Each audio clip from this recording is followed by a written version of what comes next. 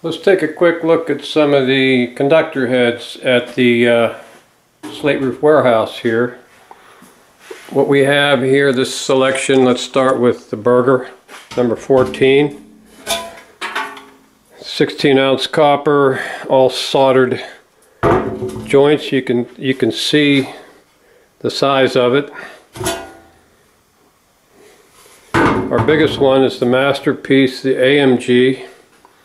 Same thing, it's all soldered 16 ounce copper, 4 inch outlet, heavy duty, last a lifetime.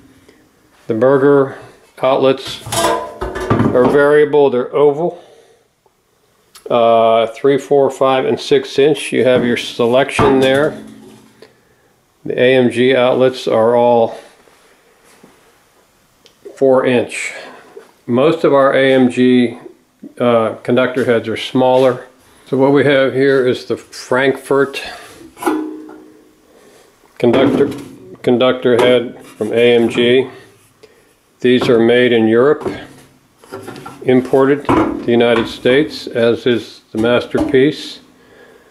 This is the Paris from AMG, also made in Europe, 16 ounce soldered copper, heavy duty, perfect for running your downspouts in. So this is what some of them look like. We have others as well. This is the Berger. A little more than a foot, 12 and 3 quarters inch wide. About 8 inches deep. This is the Masterpiece. You look at a 13 inch opening there. Again, eight and a half inches deep. Look at the Frankfurt.